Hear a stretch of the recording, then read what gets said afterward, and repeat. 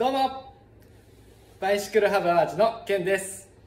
今日はロードバイクなどに使われているフレンチバルブの空気の入れ方を紹介します。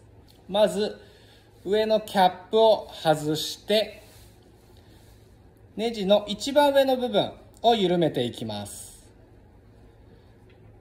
そして1回から2回上を叩いて空気が出るようになったら空気を入れていきます。